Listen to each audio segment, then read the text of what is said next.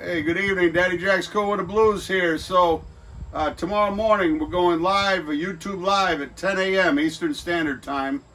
We'll be doing a video. We're going to take some questions and answers. You know, if you want to give us some comments coming in, and and uh, hope you can uh, tune in with us.